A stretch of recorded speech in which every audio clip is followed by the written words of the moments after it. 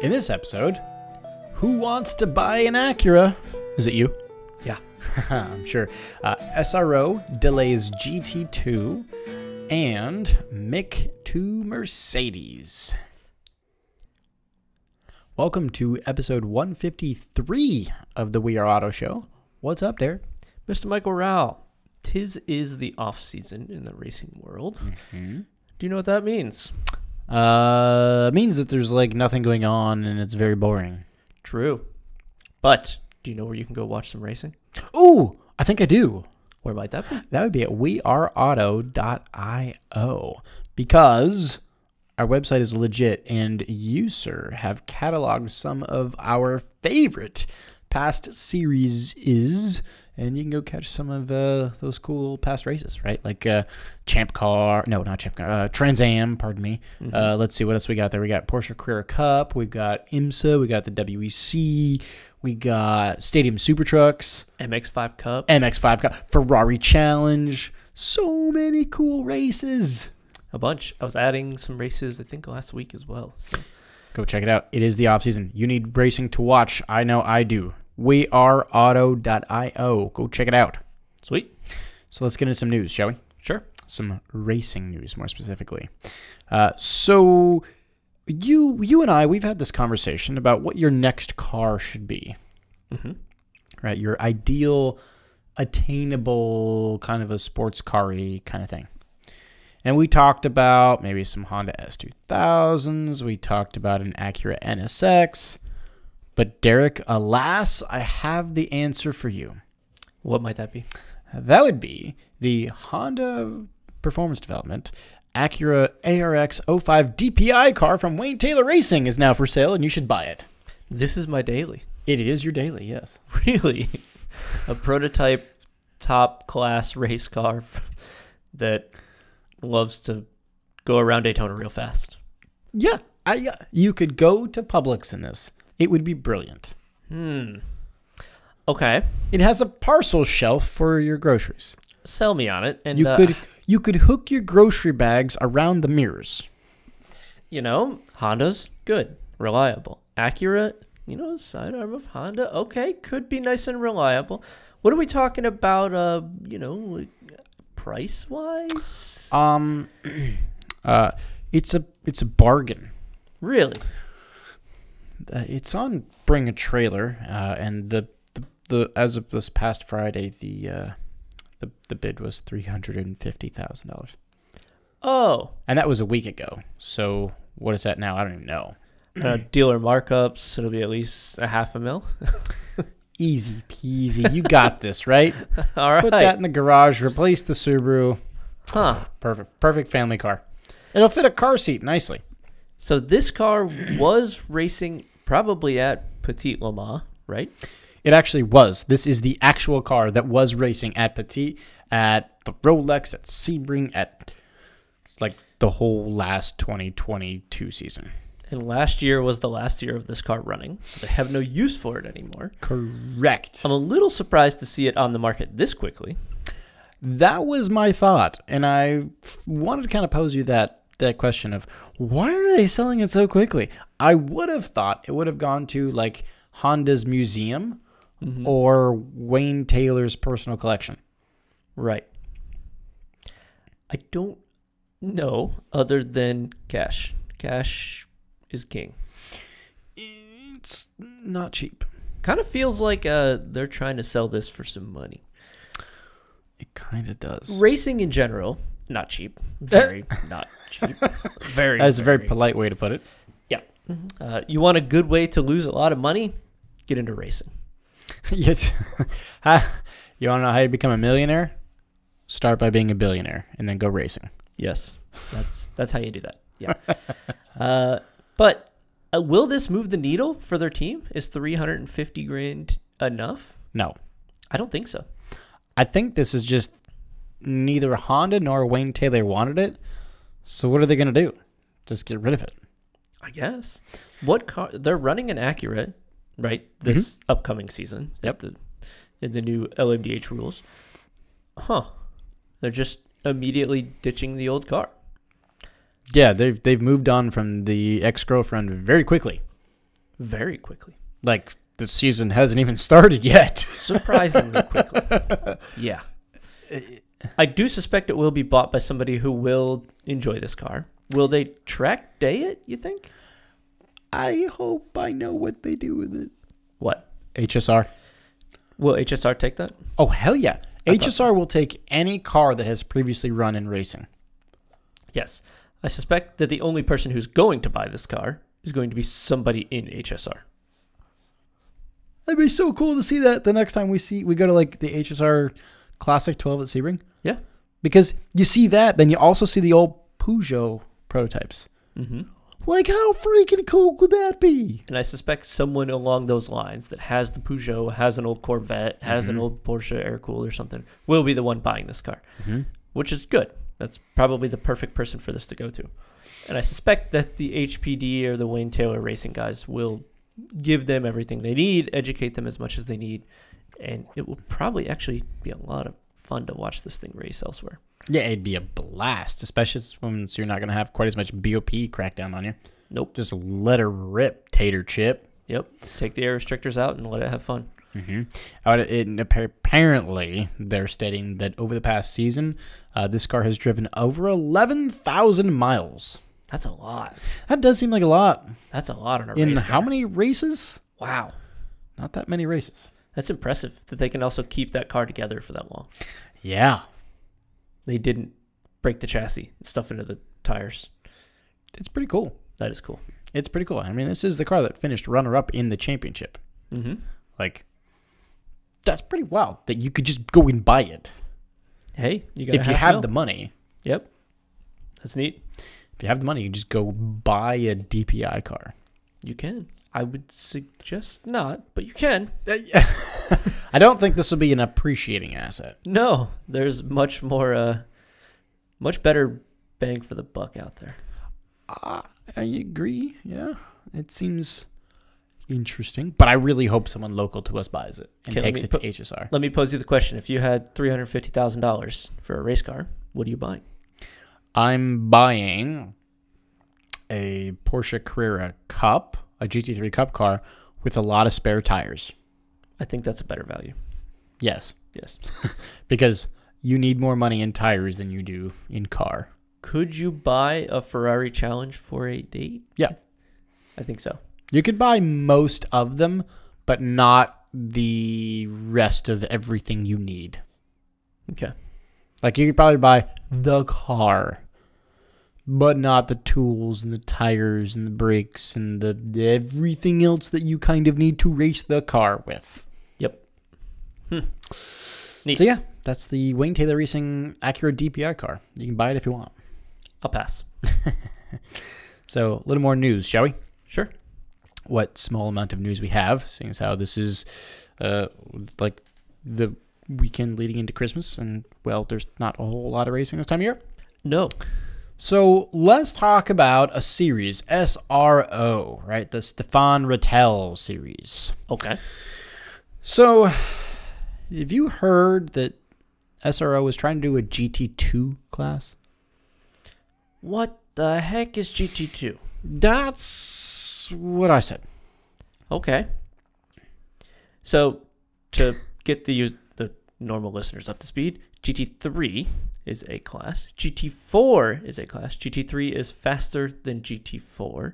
Uh, you will find the top class Ferraris and Lamborghinis and Porsches and GT3. Uh huh. GT4 you'll find like the Caymans, the the slower stuff, right? Mm-hmm. Um, GT2 is that going to fit between the two? Is that going to be faster than GT3? Is that just marketing? So, Huh. it's how do I describe this? So the cars look more like GTLM cars from a couple years ago. Oh So- boy. They but but hold on though because it's not. so Okay. the cars we're looking at right now are supposed to be GT2 class Audi R8s. Look at the rear wing. The rear wing is way bigger, mm-hmm. right? The roof scoop, where'd that come from? I don't know. That Have doesn't belong on an Audi. Have you seen an Audi R8 with a giant roof scoop? Not like a little roof, but huge, massive hoovering roof scoop. That's never been there and it should never be there. It's got different front aero, different side aero. So it's I, I I don't understand. Why are these series overcomplicating friggin' everything? I swear to God. Because what I'm understanding, and I don't understand much, but what I'm understanding is that GT2 will be an AM class, replacing GT3 AM with different kinds of cars Hmm. same cars but different that are supposed to be even though they look faster supposed to potentially be a few seconds slower but not as slow as GT4 This is quite the pickle. what the hell Okay, so to my understanding, uh, it is odd right now that Pro and AM, at least in IMSA and the WEC, are Mhm. about to be the same car, right?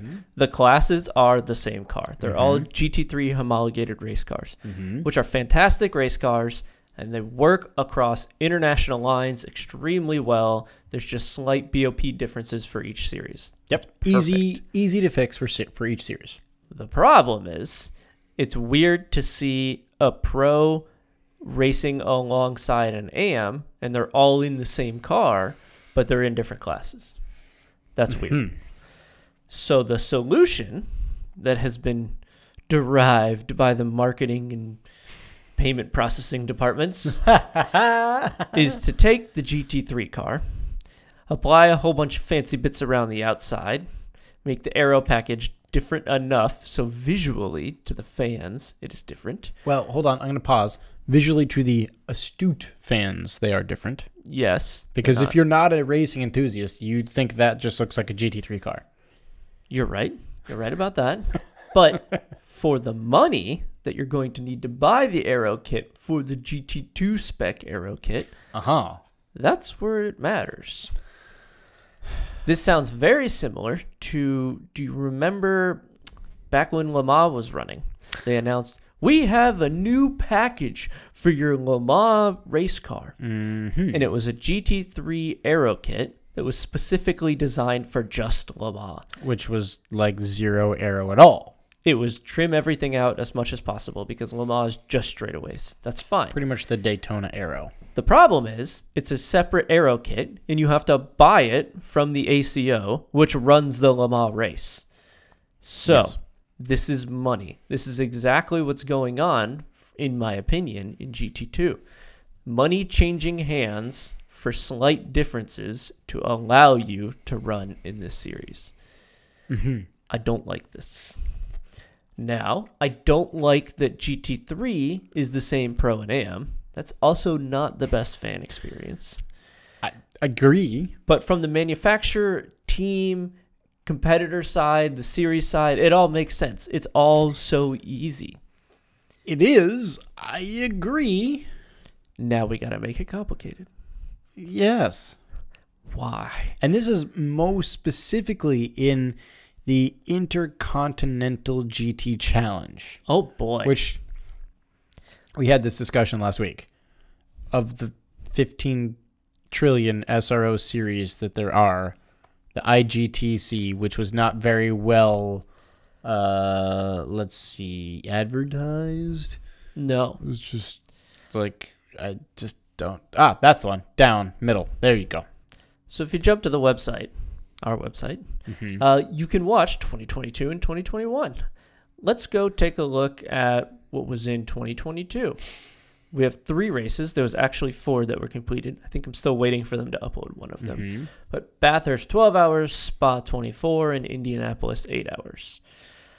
Why do we need a whole separate class with some weird aero kits on a GT3 chassis just for a series that runs four races a year?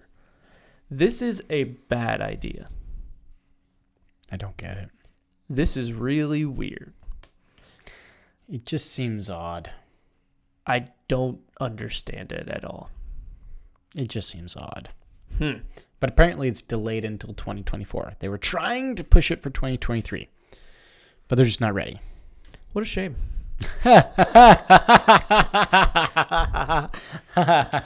what what a shame. Now, do you think that IMSA in the WEC and the other series No. will start to pick this up? No, So will this just die by the hands of the ACO? it's not the ACO. It's the SRO. Or sorry, It's the SRO. other O. Yeah. In case that's not confusing Man, enough. could you imagine being a newcomer to the sports car world? No, it's terrible. SRO, ACO, WEC, IMSA, uh, oh, IGTC, TC America, GT America. My God. That's why I made our website. DTM. What else? We, oh, uh, ADAC, uh, BTCC. Man. Just to explain to somebody, hey, it's your first time at the Sebring 12 hours. Oh, there's a race going on, but there are five different races happening in the same race. there will be five different winners because we have five classes. And this But is there's only one be- overall winner. Yeah. Only one overall. And then each car has three to five drivers in it.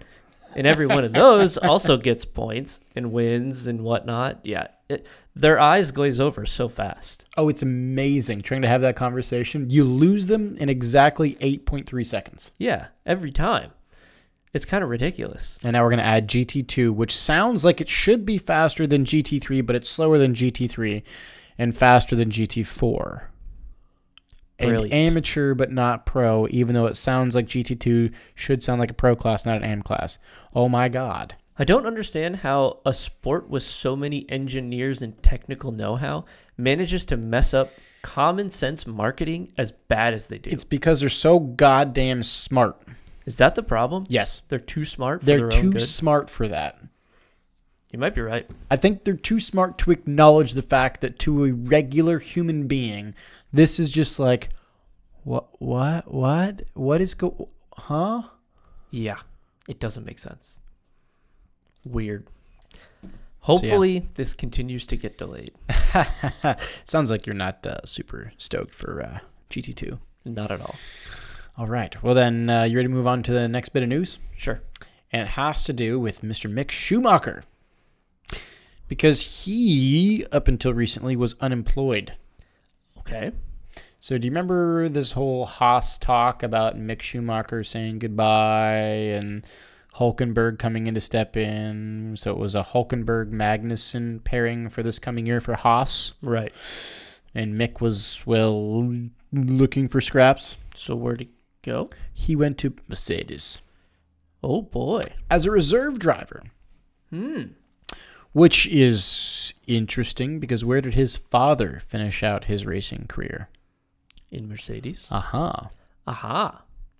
That checks out. it does. Hmm. Mr. Now Michael this Schumacher. gives me a reason to actually like Mercedes. Damn it! Does it?